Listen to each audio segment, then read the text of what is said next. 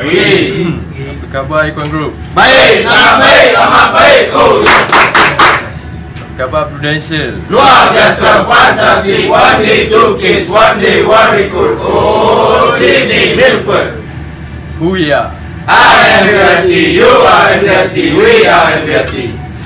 Okay, uh, first of all uh, Alhamdulillah hari ni kita semua dapat datang Office bagi morning sharing uh, Islam khususnya Dan sihat lah So before kita start our morning sharing uh, Kita start dengan Al-Fatihah Right? Al-Fatihah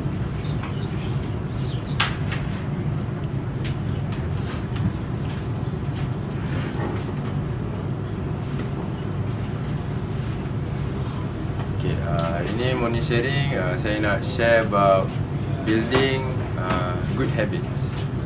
Uh, so habits ni dia sebenarnya uh, dia mana? Dia perbuatan atau uh, perangai masing-masing yang dah biasa tau hari-hari. Yang effortless lah, dia panggil automatic behaviour. So maksud dia macam contoh macam uh, apa ni? Mandi ke ha, Mandi kan kita automatik kan Pakai baju nak pergi kerja Tak pun ha, Kita pergi kerja Kita guna jalan yang sama hari-hari. Ha, tu Itu habit kita. Yang automatik lah. Dipanggil unconscious habits. So uh, Bagusnya pasal unconscious habits ni Dia free up our brain tau Maksudnya kita boleh fokus kat benda yang lagi important lah. Contoh macam kalau dah biasa mandi kan So tak ada nak fokus mandi kan. Tak pun contoh macam uh, pergi kerja lah Siapa yang awal-awal datang office ni mesti macam uh, Apa ni Awal-awal Time awal kita datang office Mesti pakai Waze kan. So Kita pakai banyak fokus lah situ. Yang awal-awal. Tapi dalam lama kita dah ingat jalan Benda tu jadi effortless lah uh, Tu Unconscious habits lah. Okay, so uh, habits ni ada tiga stage. Okay. Satu yang unconscious lah Yang macam mesti kat tali kasut Gosok gigi kan Satu yang good good habits tau Good habits ni yang dia bagi kita uh, Benda yang bagus lah kita. Contoh macam exercise. Uh, Exercise kata lah Seminggu tiga kali.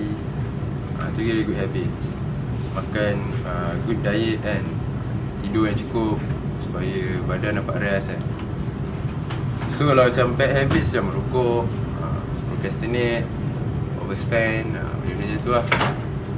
Okay So mana nak build a good habit is uh, Ni time uh, tahun lepas saya pergi training yang MDRT tu uh, Dia share ada 4, 4 stage.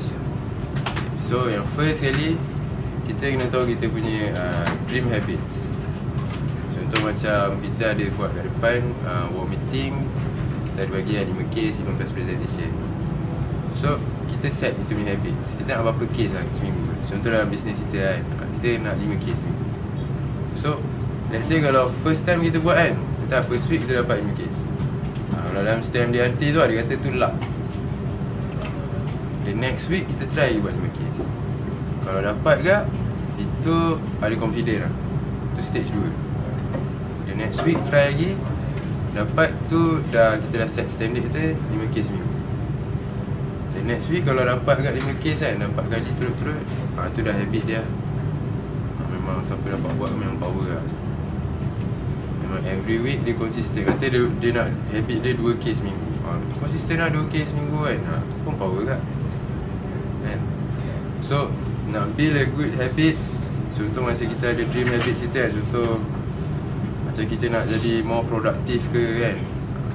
So kita kena try Try seminggu dulu. Konsisten Kalau dapat buat The next week Try. Lagi Buat sampai 4 kali. Kalau sampai 4 kali Kali kelima tu dah senang Contoh macam nak pergi kerja kan? Kalau first time pakai Waze Kadang macam susah sikit rasa sesat kan. Tapi bila dah lama-lama Benda tu jadi senang. So Kalau nak 5 case minggu pun Boleh juga jadi senang macam datang office. Kalau betul tu buat lah. Okay so uh, So kalau nak build good habits tu je lah 4 benda tu lah. Try 4 kali Kalau Okay then That's your good habits lah. Yang kita dapat uh, develop Okay. So uh, morning sharing saya sampai situ je. Ada apa-apa penambahan daripada bos Tak ada eh? Uh, Abang Nasir, bos Nasir tak ada? Okay, Siapa ada penambahan apa-apa nak share? Tak ada eh? Okay. Kalau tak ada uh, kita check Check challenge lah. Kita check challenge. Saya nak tell Mio lah. Goodbye!